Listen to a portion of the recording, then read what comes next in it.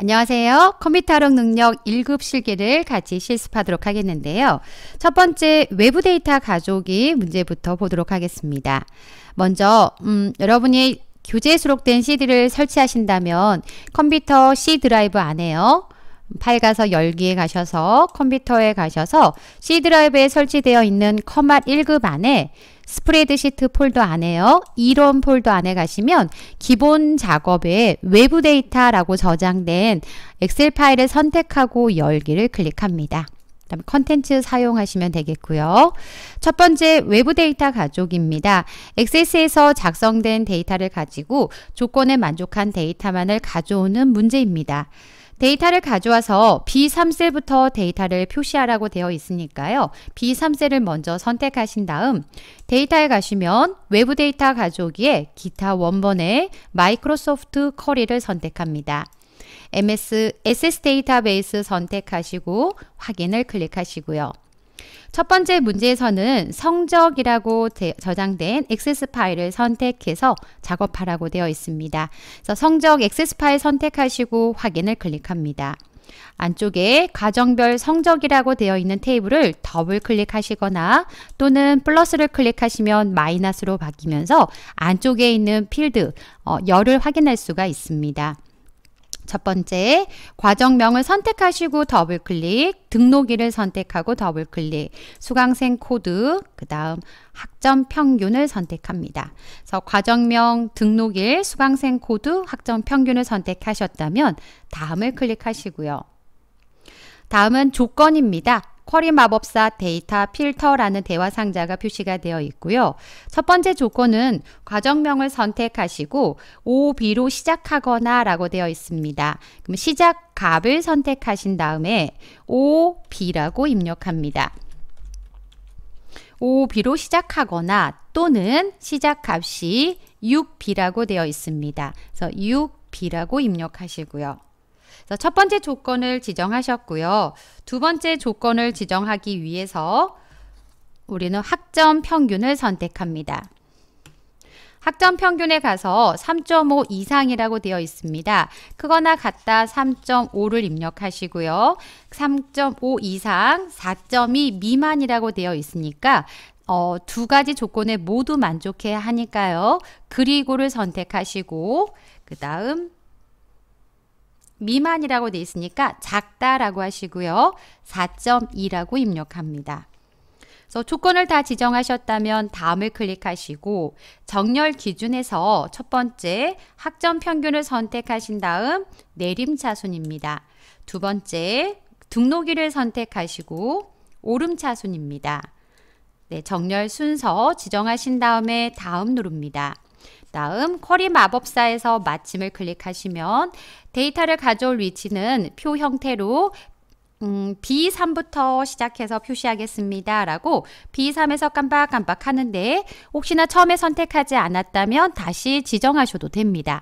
그리고 나서 확인 버튼 누르시면 B3부터 시작해서 데이터, 과정명, 등록일, 수강생 코드, 학점 평균에 해당한 데이터를 B3부터 표시된 걸 확인할 수가 있습니다. 첫 번째 외부 데이터 가져오기 실습해 보셨고요. 두 번째 외부 데이터 2번 문제 보도록 하겠습니다. 마찬가지로 데이터를 가져와서 표시할 위치 B2셀을 선택하시고 메뉴 데이터에 가셔서 외부 데이터 가져오기에 기타 원본의 마이크로소프트 쿼리를 선택합니다. MS 데이터베이스 선택하시고 확인을 클릭하시고요. 두 번째 예제는 시험이라고 저장된 액세스 파일을 선택하시고 확인을 클릭합니다. 안쪽에 성적이라는 테이블이 있으면 더블 클릭하신 다음 문제에서요 가져올 테, 어, 데이터는 수강 과목 그 다음 성명 그 다음 1차 2차 3차 출석 일수 그 다음 결석 일수입니다. 어, 데이터는 문제 순서된 필드 순서를 가져오시면 되고요. 혹시나 순서를 잘못 가져왔다 하시면 오른쪽에서 쿼리에 포함된 열에서 선택하시고 위로 아래로 이동하실 수 있고요.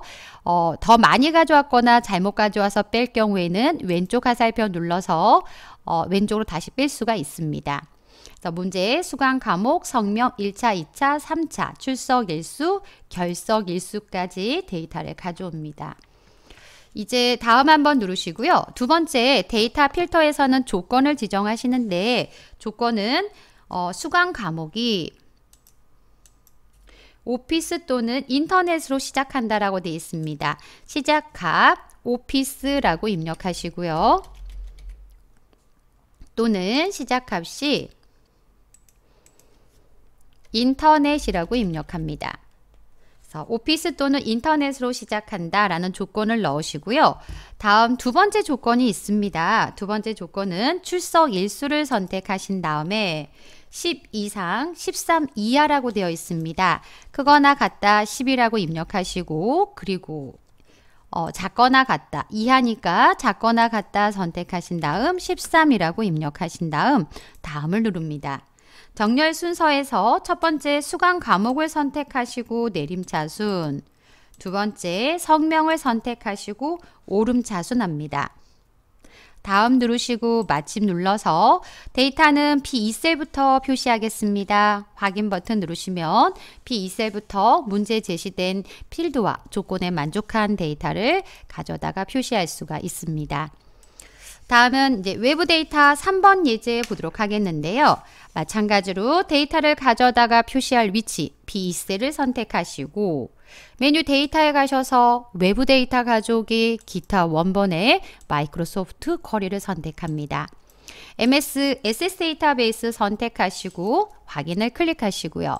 세 번째 문제에서는 진료 내역 액세스 파일을 선택하라고 되어 있습니다. 안쪽에 비병원이라고 저장된 테이블을 더블 클릭하신 다음 문제에서 제시된 필드를 가져오시는데요. 성명 더블 클릭, 생년 월일, 성별, 진료 과목, 다음 진료 일을 선택합니다. 성명, 생년 월일, 성별, 진료 과목, 진료 일 다음 버튼 누르시고요. 조건에서 진료 과목을 선택하신 다음에 호흡기 또는 어, 같습니까? 호흡기 내과와 같습니까? 또는 같습니까? 소화기 내과와 같습니까? 라고 첫 번째 조건을 지정하시고 다시 두 번째 조건을 지정하기 위해서 진료일을 선택하신 다음에 어, 2020년 2월과 3월에 해당한 데이터라는 조건을 넣기 위해서 그거나 같습니까? 2020년 02 빼기 01 그래서 2월 1일보다 크거나 같고 그리고 그 다음 3월까지 어, 넣으려면 작거나 같다라고 하시고요. 2020년 3월 31일보다 작거나 같습니까? 그러니까 2월 1일부터 크거나 같다면 2월 1일부터 3월 31일까지서 2월과 3월에 해당한 조건을 지정할 수가 있고요. 다음 누르신 다음 첫째 기준에서 진료 과목을 선택하시고 오름차순 두 번째 진료일을 선택하시고 내림차순합니다. 다음 버튼 누르시고요. 마침 누르신 다음 표 형태로 B2셀부터 데이터를 표시하겠습니다. 확인 버튼 누르시면 문제 제시된 필드와 조건에 만족한 데이터, 그 다음 정렬 순서대로 데이터를 가져오실 수가 있습니다. 그래서 실기시험에서는 외부 데이터 가져오기 문제가 항상 출제가 되니까요. 문제 제시된 순서대로 조건에 맞게 정렬 순서 천천히 문제 제시된 걸 하나하나 체크하시면서 문제를 작성해 보시면 되겠습니다. 그래서 외부 데이터 가져오기 살펴보셨습니다.